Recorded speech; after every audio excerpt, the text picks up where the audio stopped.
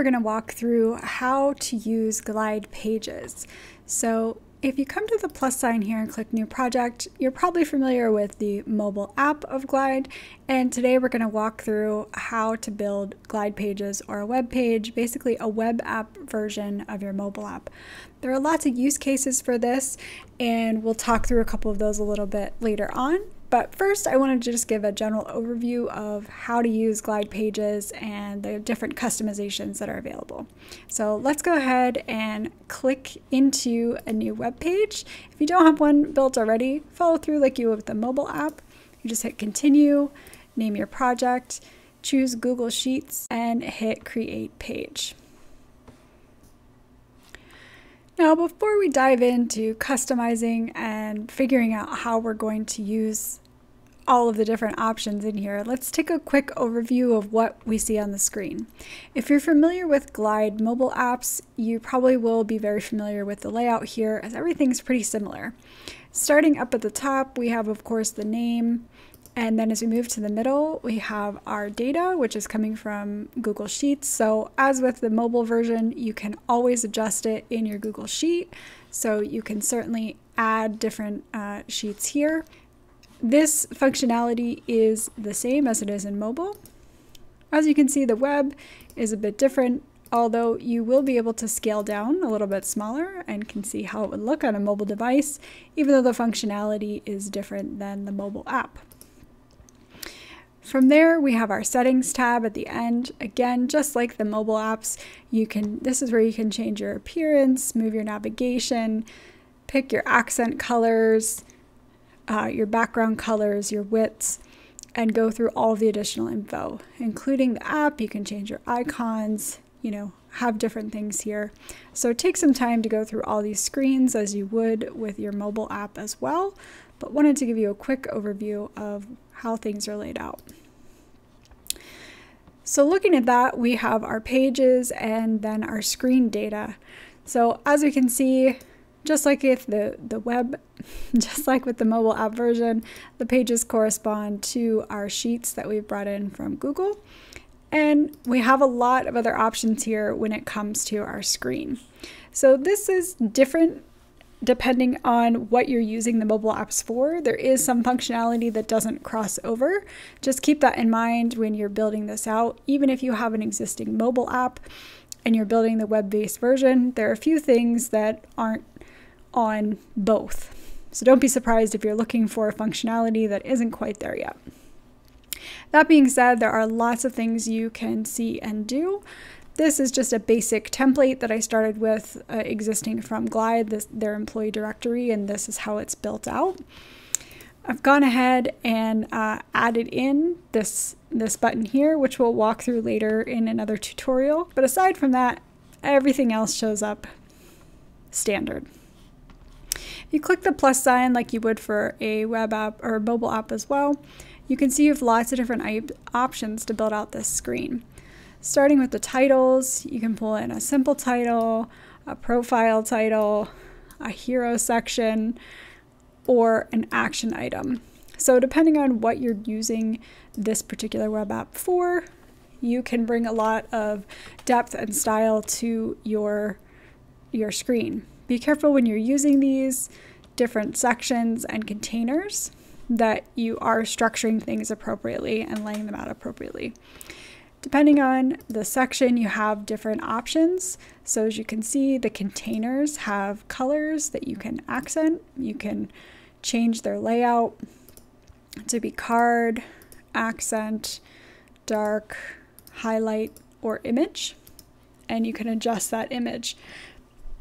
So you can enter a URL, you can upload an image, or pull one in from existing data. So a few different options here if you wanted to give that a, a fun effect. You can also darken and lighten the different styles. So that's a little bit on the title sections. Let's delete some of those out of there. Next we have the collections. That's probably what you're used to if you're familiar with building out on the mobile app version. Again, the same styles here, the card, the grid, the list, and the table. adjust accordingly. You can always pull in the collections uh, defaulted that way as well. From there, we have pretty much everything else you would use to build out the web app. So you have different containers that you can add things into to give your, your content a little bit of depth. So this the containers are what will allow you to style things. So just keep that in mind that if you don't have something in a container, you won't be able to have this background styling. Important to note as you're building. Okay, so we have our containers and our separators. Can always put those in there. And you have a couple of different options, the small, medium, and large. Draw a line, or it can be a blank separator. From there, our content fields, just as with our mobile app. Again, you can pull in different fields based on where the information is coming from. So for us, that's all the fields for the current sheet that we're on, which would be staff. Delete that out of there. You can pull in image blocks. Again, that would be only relevant if you have photos. So just keep that in mind if your data doesn't have any photos, videos, and numbers. Moving on down to our action items, breadcrumbs will let people know where they're coming from. So this is only really relevant if, say, you're clicking on this detailed button. As you can see, we went from just staff to staff, and now we're on the CEO. So that's relevant as you build out the site to let people know where they're navigating within the app. Buttons can be individualized or you can add action buttons within containers. So depending on what you're doing, here in the collection, you'll see this is how we added the employee. We're adding item buttons or title bar actions, or you can have them stand alone. So just keep that in mind.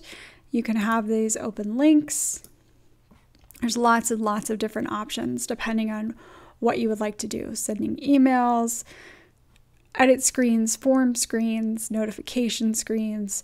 You can even have it trigger a webhook or a zap if you're building out complex flows. Next, we have just a singular button, works with the same functionality as a button block. From there, we have forms. So there's a general contact form that's built in, and you can customize that much as you would with the mobile app versions. Again, you can add some conditions if you would like to do that as well, and then add in additional columns.